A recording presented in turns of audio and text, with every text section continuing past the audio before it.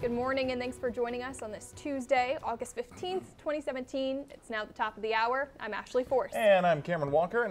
We're still waiting to learn the name of a man who died after reportedly jumping from a Eugene apartment complex. And replacing Obamacare. Well, the president will give a statement today at the White House on health care. Mola Lenghi is in Washington with the latest. On entertainment news this morning, Carol Burnett making a return to television. Plus, the only female director to win an Oscar is being honored again. Chris Martinez has those stories and more in today's Eye on Entertainment.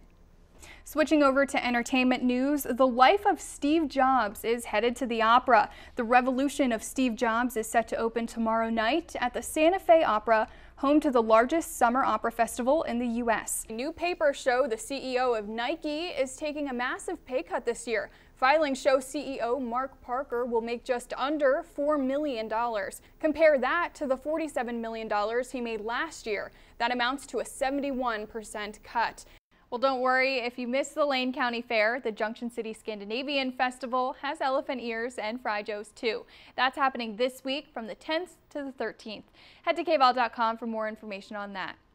Now, the Eugene Fiber Network continues construction. 16 out of 47 downtown buildings have been connected with EUGNet.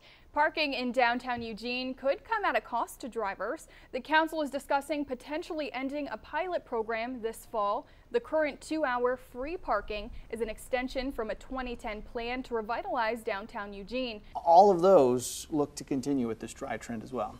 Can I tell you something? Hmm. Two days ago, I went hiking mm -hmm. and I fainted. I straight up fainted. Why'd you faint? I didn't drink enough water. It was very hot.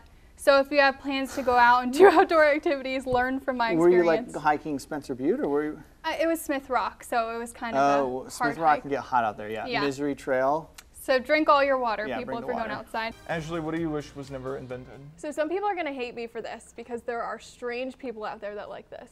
Licorice and black licorice flavoring anything. I know you don't like the black. You always talk about not liking black licorice. When I was growing up, they had like four flavors: chocolate, vanilla, strawberry, and black licorice ice cream, and that stuff I mean, you might as well grease your axles with that stuff. Right.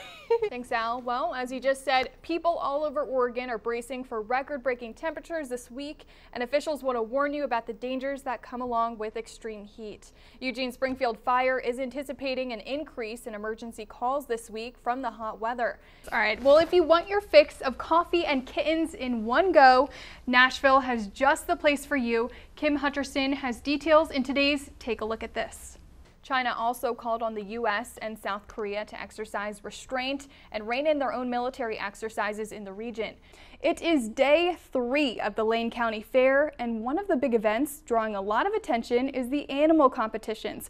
Reporter Clara Benitez met with some 4-H participants and has the story ejecting several riders from their seats. Yeah, and we do want to warn you, some of the video we're about to show could be disturbing to some. Brook Silva-Braga has the latest on the investigation into what happened. Three of the people injured are in critical condition. Rides similar to the Fireball are being shut down at some events across the country. New poll found when temperatures get really hot outside, people are twice as likely to do this at night. If you know the answer, email us at mornings at kval.com. You know, I have yet to guess correctly on these question of the days.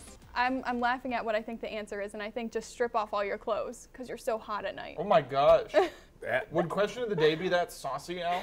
um, no, but I have a feeling some of the answers will be that saucy mm -hmm. plus.